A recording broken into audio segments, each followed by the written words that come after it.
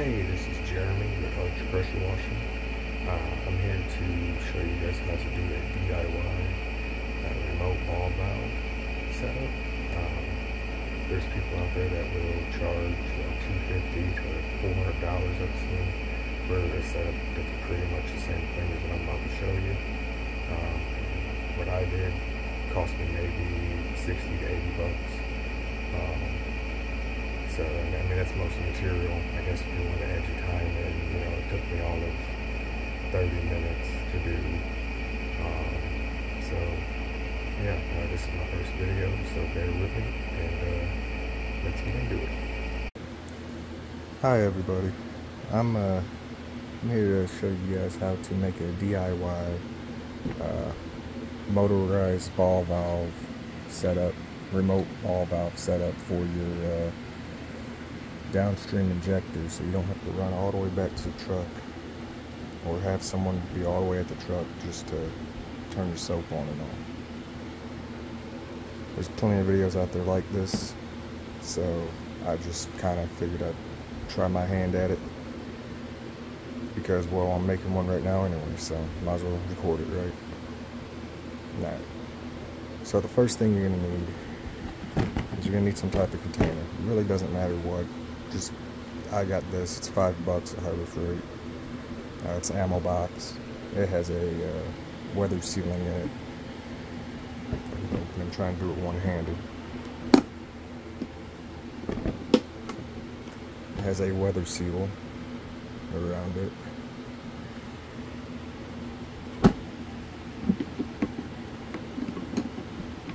And it has, you can lock it. I probably won't ever lock it, but it has a little lock spot for it. You're going to need a motorized ball valve, and that's probably the most important thing, because I guess theoretically you could just kind of put this anywhere, it don't have to be in a container, but you're going to need a ball valve. I got this uh, US solid one. Uh, that's the uh, model number there, that MSV 00029.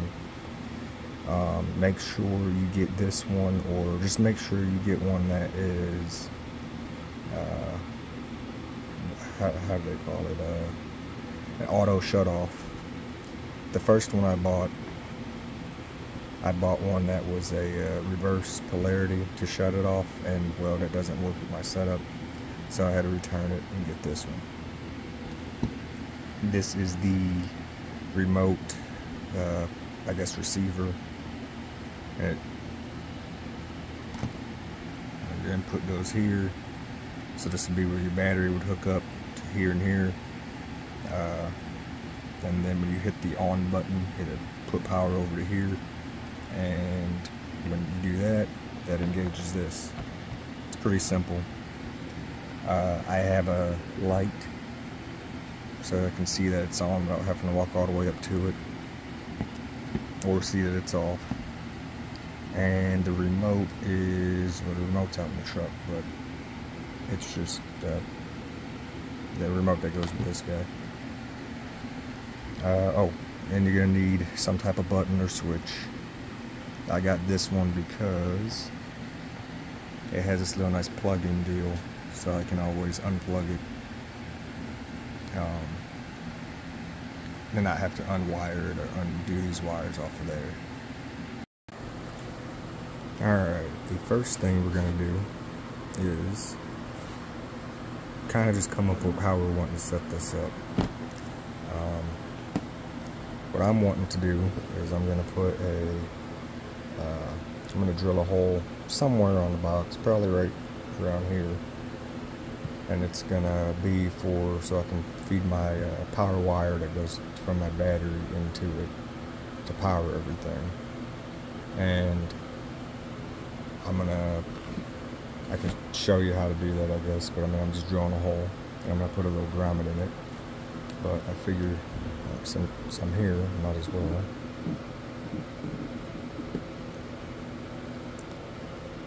I'm sure someone out there is crying because I didn't measure and I just kind of plenty big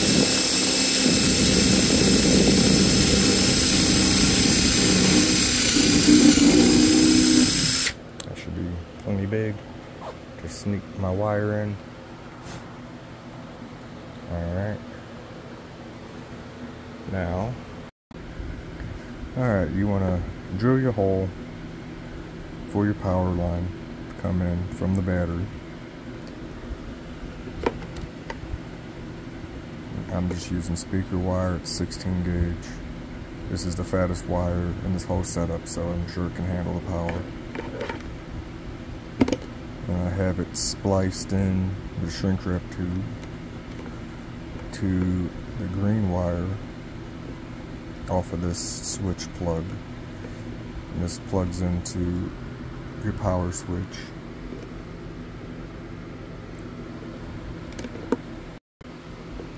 You're then going to want to, from the end of that uh, plug down there, you're going to want to tie your red and yellow together. Leave your black separate. And we're not using the white. So we got green going to the positive side of the battery.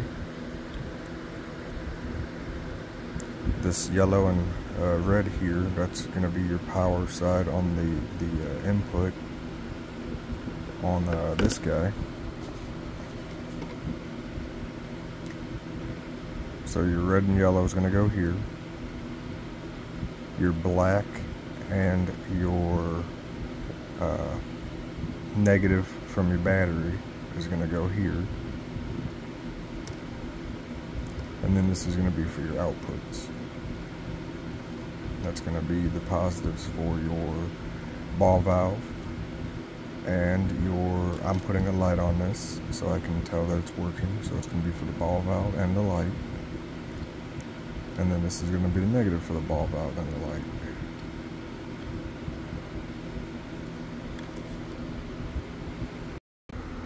Alright, I got the uh, battery side hooked up. Next I'm going to hook up the ball valve and the uh, flashing light.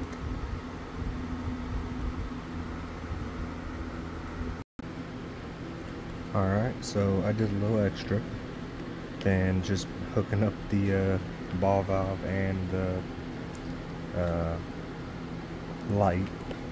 But you can see in there,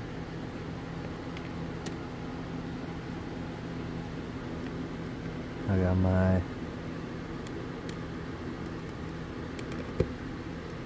I got my ball valve and my light hooked up. I mount my ball valve. I went ahead and just hooked in, put the clamps on, put little grommets in.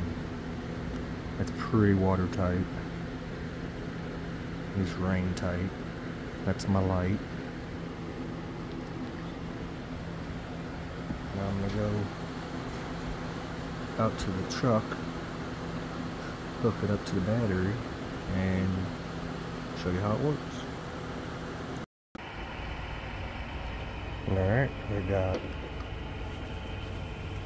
my hoses plumbed up. This one is going to the, uh, you know, the tank. And then this one, the other one's going to my uh, chem injector.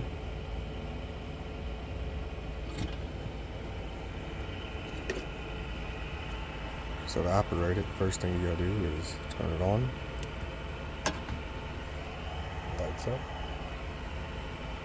And then turn it on again.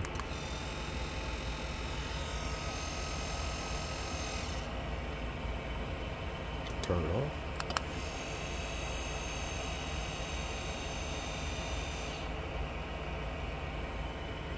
And then you can also turn it on. And then if you click this off, it also shuts off. This is closing the ball valve. So if it loses power, it closes the ball valve.